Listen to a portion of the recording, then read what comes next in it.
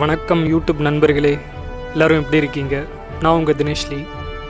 நம்ம இருக்கிற ஊர் கும்பகோணம். ஸோ கும்பகோணத்தில் பொருட்காட்சி போட்டால் இது என்ன ஏதுன்ட்டு போய் பார்த்துணுமா இல்லையா? இப்போ நீங்கள் பார்க்கக்கூடிய இடமும் அதுதான். நாங்கள் இதுக்குள்ளே வந்த டைம் கிட்டத்தட்ட ஒரு அஞ்சரைக்கு மேலே இருக்கும்.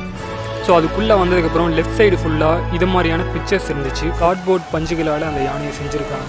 அதுலேருந்து வந்த சவுண்டு எங்களை ரொம்பவே எக்ஸைட்டாக மாற்றிடுச்சு இது மட்டும் இல்லாமல் இங்கே நிறைய விலங்குகள் இருக்குது அதோட சவுண்டையும் நீங்கள் கேட்டு என்ஜாய் பண்ணுங்கள்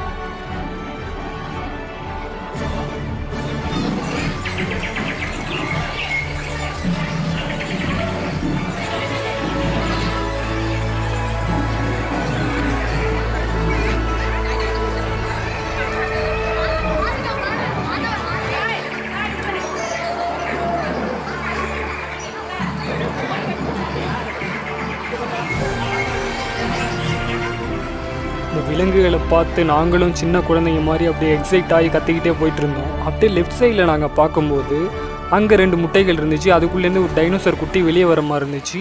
அதுக்கு பக்கத்தில் இருந்ததெல்லாம் டீரெக்ஸ் இங்கே டைனோசர்கள்லாம் இருந்ததை பார்த்துட்டு நாங்கள் இன்னுமே எக்ஸைட் ஆகிட்டோம் இங்கே சின்ன குழந்தைகளை நீங்கள் கூட்டிகிட்டு வந்திருந்தீங்கன்னா கண்டிப்பாக அவங்களுக்கு மிகப்பெரிய ஒரு சர்ப்ரைஸாக இருக்கும் இது.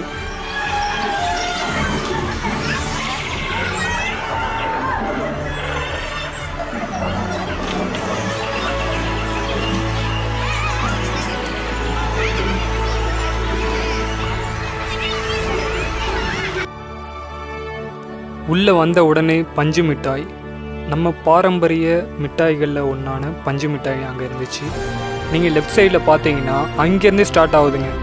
கிட்டத்தட்ட பத்து ரூபா ப்ராடக்ட்டு அதுக்கப்புறம் நூறுரூவா ஐநூறுரூவா ஆயிரரூவா ஸோ எல்லா விதமான ப்ராடக்ட்டும் இங்கே உங்களால் வாங்க முடியும். நிறைய பொருட்கள் இங்கே இருந்துச்சுங்க. பிளாஸ்டிக் பொருட்கள் குழந்தைகளுக்கான பொம்மைகள் குழந்தைகளுக்கான புத்தகங்கள் நாங்கள் இந்த கடைக்குள்ளெல்லாம் போயிட்டு இங்கேருந்து வெளியே வர்றதுக்கு எங்களுக்கு கிட்டத்தட்ட ஒரு ரெண்டு மணி நேரம் ஆச்சு. இந்த வீடியோவை பார்த்துட்டு நீங்கள் உங்கள் ஃபேமிலி கூட இந்த கும்பகோணம் பொருட்காட்சிக்கு வரலாம் அப்படின்ட்டு பிளான் போட்டிங்கன்னா கண்டிப்பாக டூ தௌசண்ட் ருபீஸ் நீங்கள் எடுத்துகிட்டு வந்துடுங்க ஏன்னா அந்த பொருட்காட்சிக்குள்ளே வந்ததுக்கப்புறம் இது மாதிரியான டாய்ஸ்களை வாங்காமல் உங்கள் குழந்தைங்க விட மாட்டாங்க. அடுத்து நாங்கள் உள்ளே வந்த கடை துணிக்கடை. இங்கே பார்த்தீங்கன்னா நிறைய டவல்ஸ் பில்லோஸ் அப்புறம் லெகின்ஸ் கர்ச்சீஃப் சில பொம்மைகள் இது போல் நிறைய வச்சுருந்தாங்க. ஸோ இது எல்லாமே ஆஃபரில் இருந்துச்சு. ஸோ அதனால தான் இந்த கடையை நான் உங்களுக்கு காட்டணும்னு நினச்சேன்.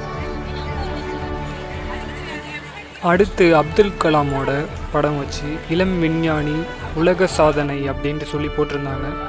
ஸோ உங்களில் யாருக்காச்சும் சயின்ஸ் ரிலேட்டடாக இன்ட்ரெஸ்ட் இருந்துச்சுன்னா அந்த இடத்த பாஸ் பண்ணி நீங்கள் அந்த நம்பருக்கு கால் பண்ணி காண்டாக்ட் பண்ணிக்கோங்க என் கூட வந்திருந்த நண்பர் பால்கோவா வாங்கி சாப்பிட்டுக்கிட்டு இருந்தார். ஸோ அதை தான் நீங்கள் இப்போ பார்க்குறீங்க இதுக்குள்ளே நாங்கள் வந்ததுக்கப்புறம் உணவு சம்பந்தமான நிறைய கடைகளை நாங்கள் பார்த்தோம். காலிஃப்ளவர் பக்கோடா மிளகா பச்சி பெரிய அப்பளம் கரும்பு ஜூஸ் ஸோ இது போன்ற உணவுகளை நாங்கள் இங்கே பார்த்தோம். உள்ளே வந்ததுக்கப்புறம் ரைடு ஸ்டார்ட் ஆகிடுச்சு ஸோ இதை நீங்கள் ஒரு த்ரீ டைப் ஆஃப் ரைடாக நீங்கள் கன்சிடர் பண்ணலாம். நீங்கள் இந்த ஃபஸ்ட்டு பார்த்த காஃபி கப் ரைட் மேரேஜ் ஆனவங்க இல்லை கொஞ்சம் வயசானவங்க நீங்கள் அதை ட்ரை பண்ணுங்கள் ஸோ இப்போ நீங்கள் பார்க்கக்கூடிய அந்த கப்பல் மாதிரி இருக்கக்கூடிய ரைடு டீனேஜ் ஆர் யங்ஸ்டர்ஸ் மட்டும் ட்ரை பண்ணுங்கள் ஏன்னா இதில் நீங்கள் ஏறினீங்கன்னா கிராவிட்டி அப்படின்றத கொஞ்ச நேரத்துக்கு நீங்கள் மறந்துடுவீங்க இது போன்ற ரைடுகளில் ஏறக்கூடிய மக்களோட ஹாப்பினஸ் எப்படி இருக்கும் அப்படின்றதையும் நீங்கள் இப்போ பார்க்கலாம்.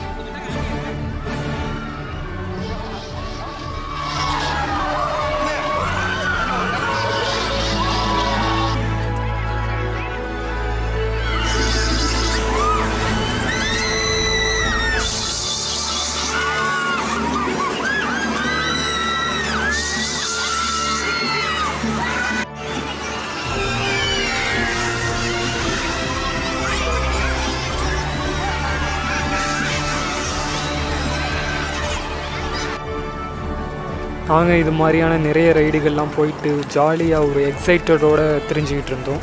அப்போ என்னுடைய நண்பர் ஒருத்தரை இன்ட்ரடியூஸ் பண்ணி வச்சார். அவர் பேர் சுந்தர் ஊர் சுற்றல் சேனலோட கிரியேட்டர்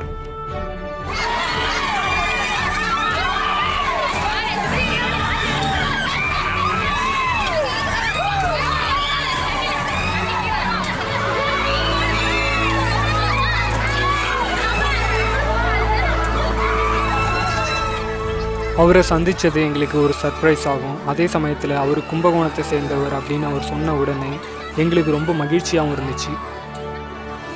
கடைசியாக நாங்கள் மீட் பண்ண கடை முத்து சைக்கிள் மார்ட் இந்த சைக்கிளோட முக்கியத்துவத்தை நான் உங்களுக்கு சொல்லி ஆகுனது ஜப்பான் போன்ற பெரிய நகரங்களில் வசிக்கக்கூடிய மக்கள் அங்கே இருக்கக்கூடிய கவர்மெண்ட் அவங்கள சைக்கிள் ஓட்ட சொல்லி சஜஸ்ட் பண்ணுறாங்க ஸோ நீங்கள் சைக்கிள் ஓட்டுறதுனால எப்பொழுதுமே இளமையாக இருக்க முடியும். இந்த வீடியோவை பார்த்ததுக்கு நன்றி.